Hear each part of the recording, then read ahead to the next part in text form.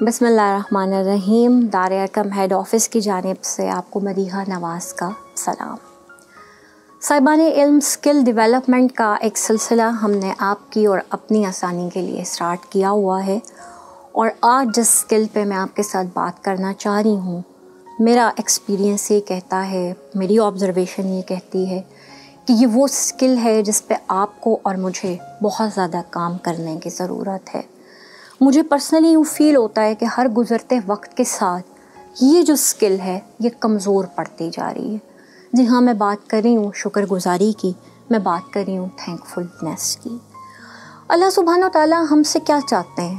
اپنی ان گنت نعمتوں کے بدلے میں وہ ہم سے صرف ایک چیز چاہتے ہیں اور وہ کیا ہے؟ وہ ہے تھینک فلنیس بات ہو انسانوں کے حقوق کی، بات ہو اللہ تعالیٰ کے حقوق کی، ایک چیز بہت واضح ہے۔ اگر ہم شکر گزاری نہیں کرتے، ہم دوسرے کو خوش نہیں کر پاتے۔ آئیے ذرا دیکھتے ہیں کہ اس کرونا لاک ڈاؤن کے دنوں میں ہم اپنے بچوں میں اس شکر گزاری کے ایلیمنٹ کو، اس شکر گزاری کے اسکل کو کس طریقے سے ڈیولپ کر سکتے ہیں۔ بچے جب صبح اٹھتے ہیں، جاگتے ہیں نیند سے، بہت اچھا ہے، آپ انہیں جاگنے کی دعا سکھائیں، وہ اٹھیں اور اٹھ کے آپ کو سلام کریں اور اس کے بعد آپ ان کو سامنے، ان کے سامنے آپ انہیں کہیں کہ الحمد للہ اللہ تیرا شکر کہ میں اپنے بچے کو ہنستا، کھیلتا، جاگتا دیکھ رہی ہوں۔ بچوں کے ساتھ مل کر اللہ کا شکر ادا کریں کہ اللہ میاں تیرا شکر ہے کہ تو نے ہمیں آج ایک اور خوبصورت دن دیکھنے کو دیا ہے۔ تو نے ہماری زندگی میں اس خوبصورت دن کا اضافہ کیا ہے۔ کھانا کھاتے ہوئے بار بار الحمد للہ الحمد للہ الحمد للہ کہ ہم اس لاک ڈاؤن کے دنوں میں بھی اچھا کھانا کھا رہے ہیں۔ بچوں کو احساس سے لائیں کہ ارد گرد بہت سارے ایسے لوگ ہیں جنہیں یہ کھانا بھی میسر نہیں ہے۔ پانی پیتے ہوئے۔ الحمد للہ اللہ تیرا شکر ہمیں صاف پانی پینے کے لیے میسر ہے۔ بچے جب نہانے جا رہے ہیں، بچے جب لباس تبدیل کر رہے ہیں تو بھی بچوں کے اندر یہ احساس پیدا کریں کہ الحمد للہ لوگوں کو پینے کو پانی میسر نہیں، ہمیں نہانے کے لیے وافر مقدار میں پانی میسر ہے۔ ہمیں اس کو ضائع نہیں کرنا۔ لباس پہنتے ہوئے اللہ تیرا شکر کہ تو نے بدن کو ڈھانپنے کے لیے ہمیں پورا لباس عطا فرمایا ہے۔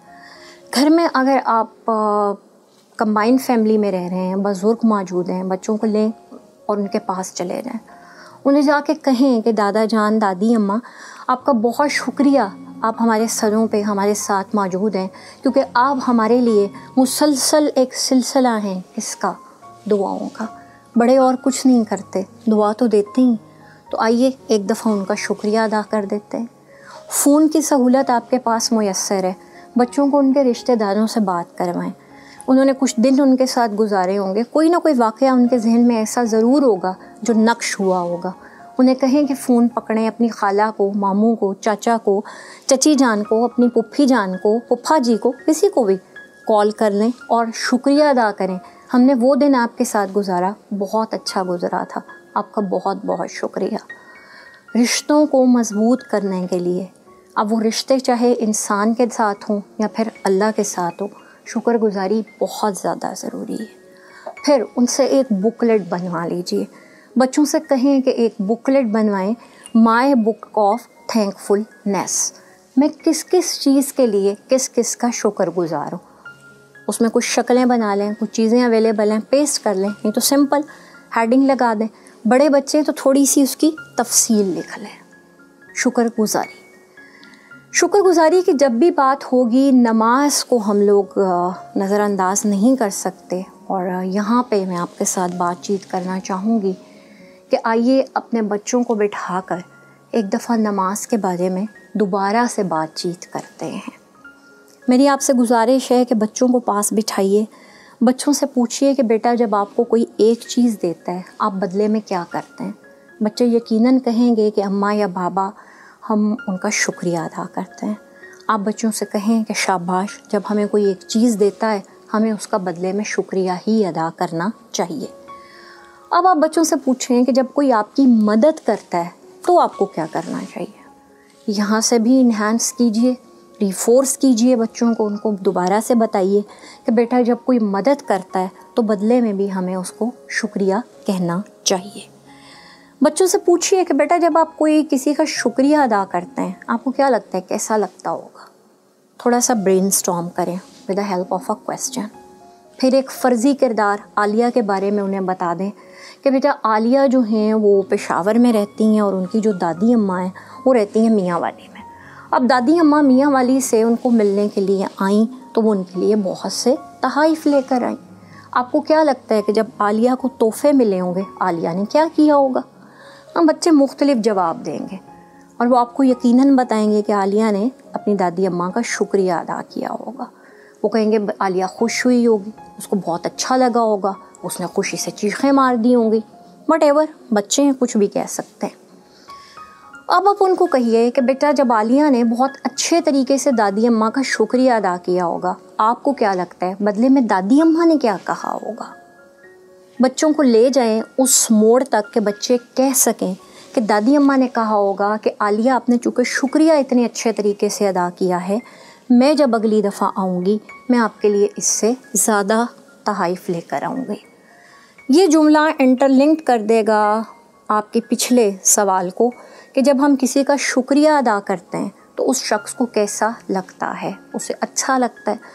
اس کے دل میں جو ہماری، آپ کہیں محبت ہوتی ہے، ہماری جو قدر و منزلت ہوتی ہے، اس کا گراف بڑھنا شروع ہو جاتا ہے۔ آپ بچوں سے بات چیت کریں کہ بیٹا، جس طرح ہم گھروں میں بیٹھے ہیں، ہم کہیں آ جا نہیں سکتے ہیں، کسی سے مل نہیں رہے ہیں، ہمیں کیسے پتہ چل رہا ہے؟ کہ ہمارے جو رشتہ دار ہیں، ہمارے جو دوست احباب ہیں، ہمارے جو ہمسائیں ہیں، وہ خیر و عافیت سے ہے کون سا ایسا طریقہ ہے جس کے ذریعے ہم ان کے ساتھ رابطے میں ہیں؟ بچے یقیناً کہیں گے کہ فون۔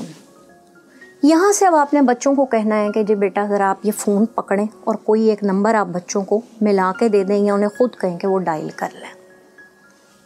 اس ایکٹیویٹی کا مقصد یہ ہے کہ ان کو پتہ چلے کہ جب ہم نمبر ملاتے ہیں تو مختلف طرح کی آوازیں آتی ہیں۔ جیسے آواز آتی ہے کہ آپ کے موبائل میں مطلوبہ نمبر ملانے کے لیے بیلنس نہ کافی ہے۔ جو نمبر آپ نے ملایا وہ بن جا رہا ہے۔ جو نمبر آپ نے ملایا وہ مصروف جا رہا ہے۔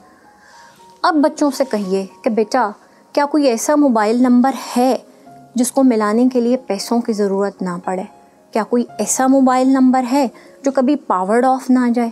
کیا کوئی ایسا موبائل نمبر ہے جو کبھی بھی مصروف نہ ملے؟